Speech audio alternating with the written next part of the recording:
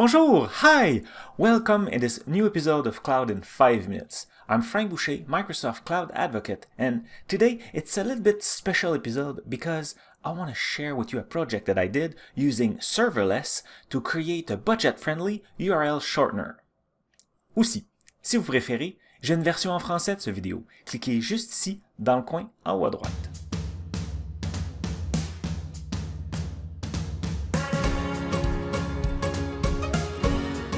I don't know for you, but I'm always in the need to share some links, some URLs, and it's way much easier to remember a short link than in a very long one.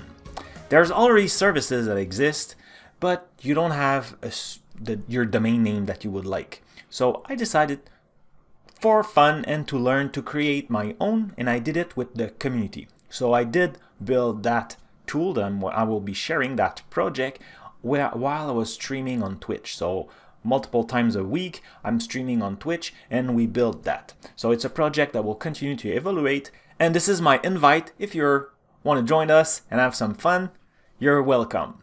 So the project is in GitHub, so on my GitHub, fboucher slash azurl shortener, all the code is there.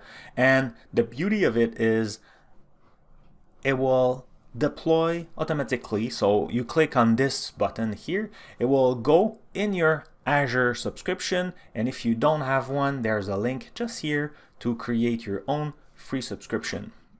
This will generate all the backend you need. So Azure function and Azure storage tables those are very budget friendly resources and that's why I picked them they only consume when you're using it. So just few seconds and you're done. So the, the backend is done as a, an API and you do HTTP call to communicate with it.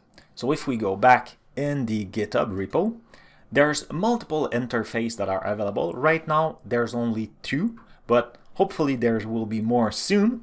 So of course, since it's a kind of an API, you could use Postman. So here I put the description and the instruction how to use Postman to generate or see your URL.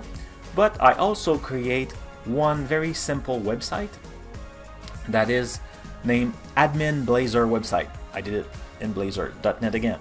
So this website is very simple again to deploy. You only have one click button. You click that, it will deploy the website in your subscription with all the configuration, all will be done. Let me show it for to you. So here it is. Like I said, it's a very minimalistic website, but it's password protected, so you have your user, and this will give you the opportunity to see all the URL that you have that you have already created. And you can create new one by clicking this blue button. It will ask you for the long URL and the vanity.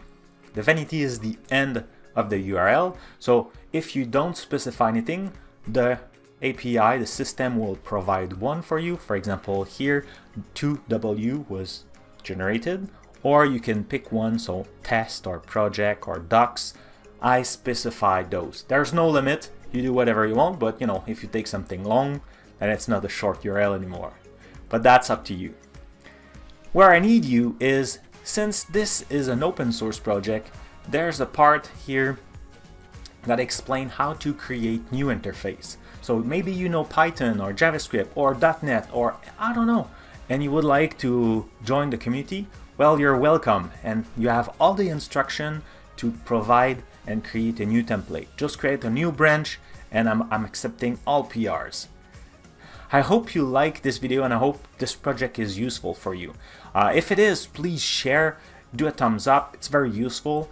Um, and don't forget to, subscribe. to subscribe. Thank you for watching. See you next time.